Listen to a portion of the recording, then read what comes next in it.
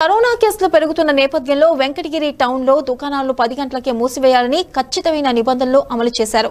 Venkatagiri SI Venkat Rajesh మరియు women SI Sirisha మాట్లాడుతూ ప్రజలకు కావలసిన నిత్యావసర వస్తువులు ఉదయం పది గంటలలోపు తీసుకోవాలని పది గంటలకు ప్రతి షాపులు మూసివేయబడతాయని తెలిపారు.